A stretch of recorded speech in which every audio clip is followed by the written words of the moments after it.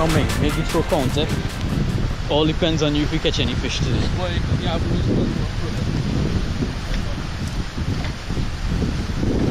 Ooh, uh, no signs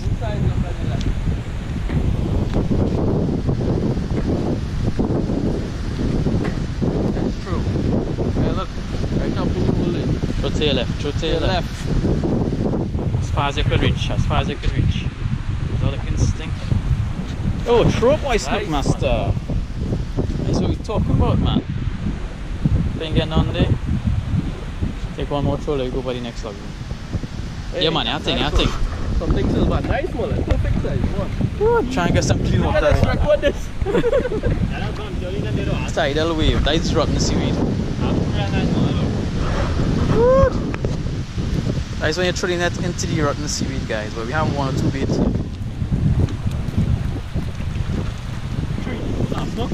not going for beer too. Sorry guys. Everything we get going for beer right now. I get beer Yeah. Have anything else in yet?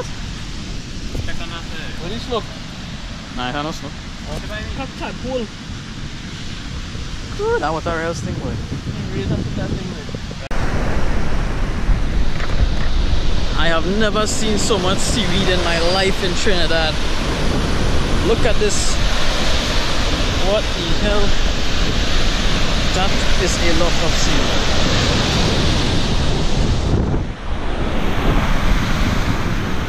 far as the eye see. Hello, Mr. Goat. Don't attack me. So we're here, guys, in Manzan, in the search of bait or regular bait spots didn't produce anything. So this is a backup plan. I haven't been here in years. The track has been overgrown. This is true. some people's backyards. Sagoto's just chilling there.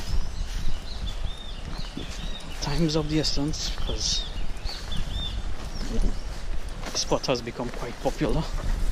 So if you miss the time to go, someone will occupy the spot. Trying to avoid that. So if you catch any bait, next place you'll be seeing us is at the river. things, Snook Master. Hey, yeah, what, what? Something in there? Like the other tap ones. Snook, snook, snook. Go back, go back. Yeah, my nice one in Nine Yeah, we good there. Let we load up down the road.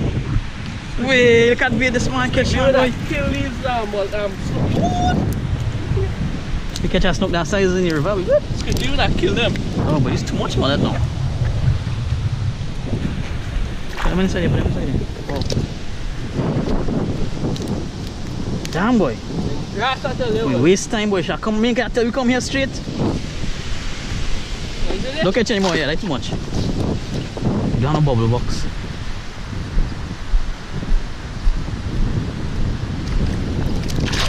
Guys, right here. Gonna use a for beats.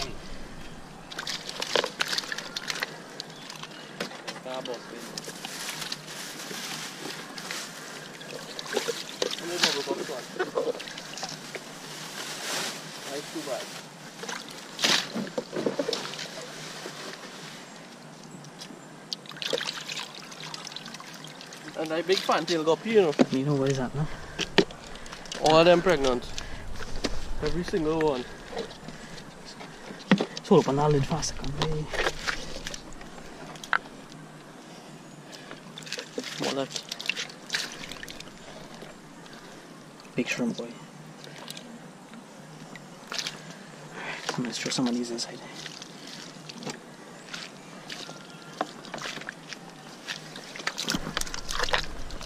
támol itt rá, hol? Hol fixálj? Right. They roll the farm. Germany. So guys, what's up? More water and I drink this morning already. Somebody said he catches monster fish, Yeah. And the big one, I know what's for. One should have been original. How was that Yeah. yeah. I think what my decision is coming out here 100% it but catch anything it's because I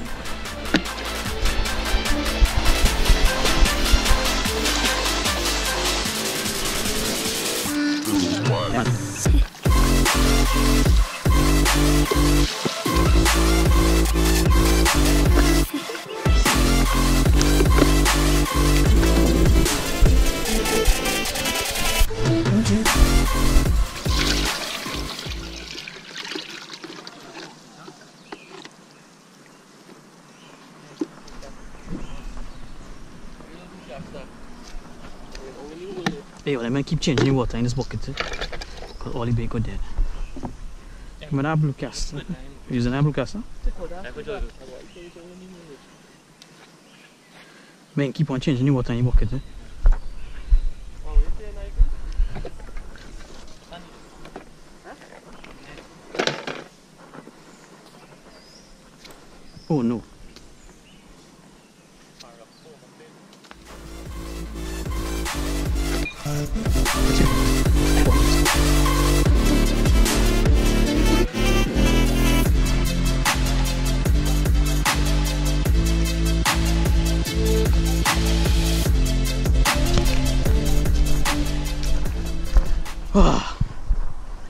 for sure. Whew.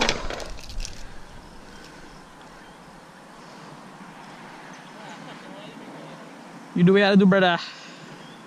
Okay, guys, just got set up finally. Took us a good while to get bait. Each of the bait lines here have live bait, thanks to the snook master. We struggled in our regular bait spots, but he took us in an old school spot that you remember when he was a toddler. It was just about two years ago.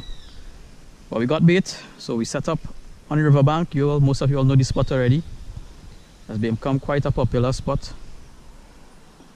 So we're gonna see what we can happen. We have about two hours. Tide falling, kinda hard right now. But we see what happen. Stay tuned, guys. Fling it. There's kind of a bite here, boy.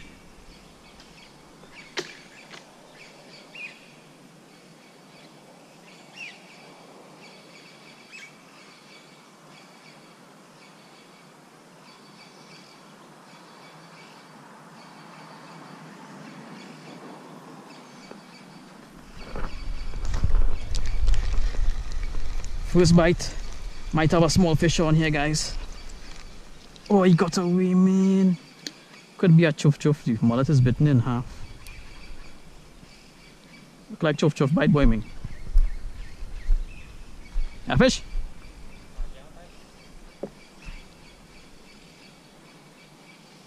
Damn boy. Fish here. Can't see from this angle. Opado for long trying to watch him. Come, Snookmaster! master. Bring a nice little snook there, man. So many, so many. Someone, someone, someone, nice one. Yeah. Watch out, watch it. Man, hold him up there, hold him up in the mouth. Salmon can. Some food, salmon. Salmon, salmon can. Salmon can, no boat needed. No boat needed. Nice one, Ming.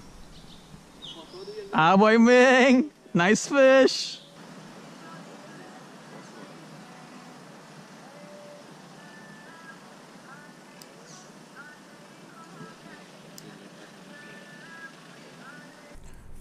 Okay guys, at this point in the video, I just want to cut and let you all know exactly what was going on or just give my thoughts on what how the whole situation played off. Well, I'm coming from a different setting today because my wife is doing some renovations at home, so the place is in a bit of a mess. You know, she has her own YouTube channel, um, just show some cooking videos and stuff like that. Jenna GD JIBTT. I'll put a link in the description below, you can check out. Um, so she just set up the kitchen in a better way for her to do some better quality videos. I mean, if that's her passion, I'd always say go for it. I mean, everyone should have passions. Um, I would encourage anyone, if you have a passion, to pursue it. I mean, if it requires spending some money or spending some time behind it, it is worth it. Because in this life, you know, we have go through so much stress, so much uh, hard work and stuff like that. So passions are passions are required to give you some form of relaxation or some form of enjoyment. Um, life can't all, can't be all about work all the time, right? So I'm just coming at you from the office at work. Yes, I do work full time still. I still I got bills to pay, so I still have to you know do this work thing uh, um, for the hour. Uh, maybe one day uh, things might not be as hectic. Okay, so back to the uh, explanation of what happened in the video. So as you can see, we had spent quite a while um, trying to catch bait. It was a struggle. Eventually, we went to one spot and we took a couple of throws and got maybe maybe 20 or 30 mullet, a couple nice size ones and you would have seen me taking a lot of time taking care of the bait. Um, most important thing when you have a live bait is to keep them living. So you'll see me keep on changing the water and putting fresh water into the buckets. That's to keep the oxygen going. I mean, if you don't have a bubble box or aerated pump, that's what you have to do to keep the bait living. Living, live, healthy bait is very important. So that's why I was taking my time to get that done. Um, so it maybe took us maybe close to a one and a half, maybe maybe even two hours to get set up on the riverbank. Now, this is a spot I wanted to go back since the last video I did when the big fish got away. But like I said, uh, I work full time, so I don't always get the time um, to make these trips. This is a, uh, Mayaro side. So eventually I, we organized, okay, we're going to get to go in this day. And we organized and left early and reached up there. Struggled to get the bait, but eventually got some really good bait. Um, reached just in time before the tide. Um, fishing is also, you know, heavily dependent on the tide. Tide was falling really hard when we started to fish, but it's now starting to ease up to come to the stand, standing tide, which is when the fish starts to bite when the tides just start to rise. So we were in a good timing, good position. And you saw Snookmaster catch that nice salmon, so the fish are now getting a chance, we are now getting a chance to, to get into the action. A lot of people always think about uh, have this issue with secret spots and, and you know people not willing to disclose their spots. Um, what happened in this trip is one of the reasons why I think um, why I don't like to publicize uh, spots as much. Um, I think it's important to have your secret spots, especially if you're someone like me um, or like you. I think most people have a, a regular Monday to Friday day to -day job, and you don't have that much time to fish. Maybe a weekend, every other week, or every weekend if you get a chance. So when you get a chance to fish, you don't want to go to a spot and you see someone fish in the area. I mean, it's all public spaces. If someone reaches there before you, know no big thing about it. Um, go try somewhere else. Um, but like I said, if you have a secret spot and you want to keep it a, a, secret just for that reason, like if you have to go and you know you have limited time to fish or limited chance to fish and you want to make sure you get that opportunity to fish, that is something you have to do. Um, sometimes I uh, sometimes I have to think hard about making a video in certain spots, um, simply because I know the spot will become more popular um, when people see the video I mean, and all people always ask, you know, where is this, where is that? I wish I could tell you every single time, but again, it's either I make the video and post it or don't make the video at all. Just to keep, you know, the spot available for when I have time to go. So I apologize if some of these spots I won't like to disclose. Again, it's just simply because when I get a chance to fish, I want to go there and actually get a chance to fish. So back to the story, we had just set up. I mean, it took us maybe two hours to get the bait, get organized, and throw out our lines and set up. Snook Master just caught that night salmon. Um, maybe about five or ten minutes after, two uh, pickup trucks pulled into the spot, blasting music, and then you'll, you'll see after this clip, you'll see what eventually happened after this, after they pulled up. I mean, like I said, it's a public fishing spot, but I think it's it's uh, only fair that you know you respect another fisherman if he's fishing in a particular spot. If you see someone fishing in a spot uh, that you wanted to fish in, and you won't be able to fish comfortably, I'd say go to another spot. Um, you can always come back another day. But these guys, I mean, it was as probably as bad as you could have treated a fellow fisherman what they did to us. Um, they definitely killed our whole fishing vibe and our whole fishing experience for that day. So take a look at what happened. Um, I'm sorry I wasn't able to bring more fishing footage for you. I had planned a pretty cool video. You saw we had a lot of B-roll, a lot of pre-fishing action, catching the bait and stuff like that. So it was going to be, I was shaping up to be a pretty epic video. But again, I was totally disappointed when this happened. So again, thanks for watching guys. I mean, hope you watch out to the end of the video. Well guys, this is why you don't give out your spots.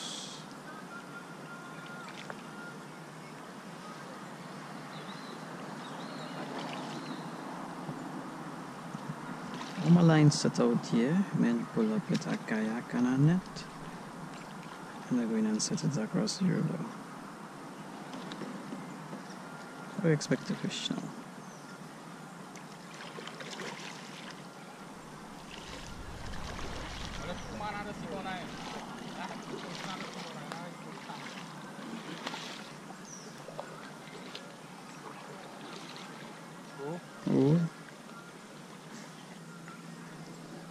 thing was going on here, man. Not across Europe.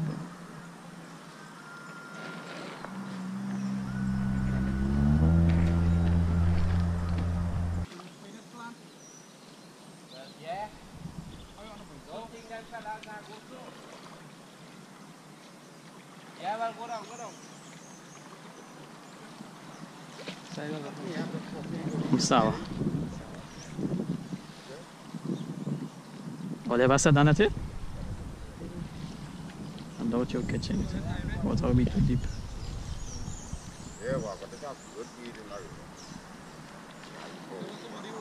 Ya catching it. olmalayın. That's how we took it. Yeah. Are you yeah, catch all always. line. Yeah, yeah, wrap it up. Tighten the drag. Yeah. Yeah, go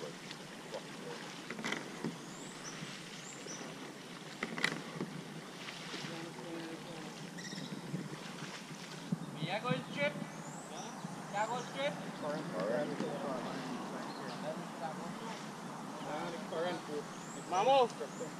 go go straight as you go in there. Mm -hmm. And we will come back on the side. Current. Current. Current. Current. Current. Current. Current. feed them.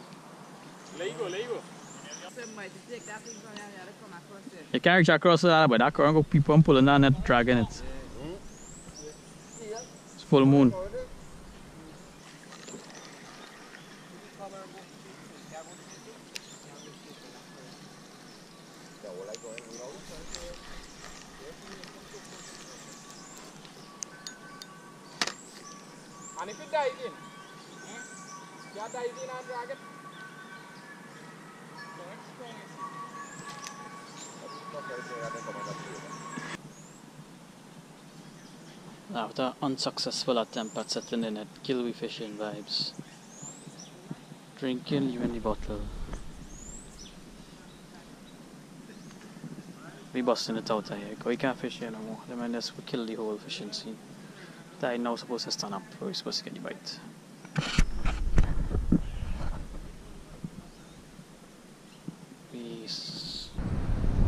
well guys today's mission proved to be a bit of a disappointment I had high hopes of spending some quality time behind the river those guys came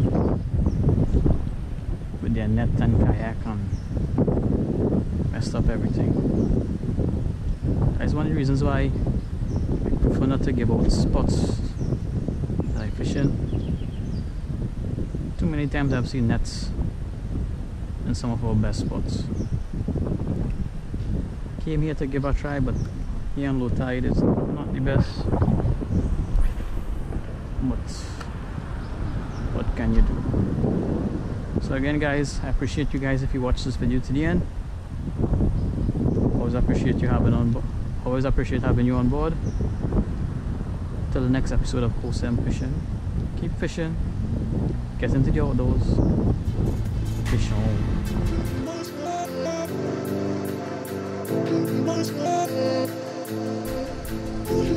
Finally got one of these snow. Snow crumb.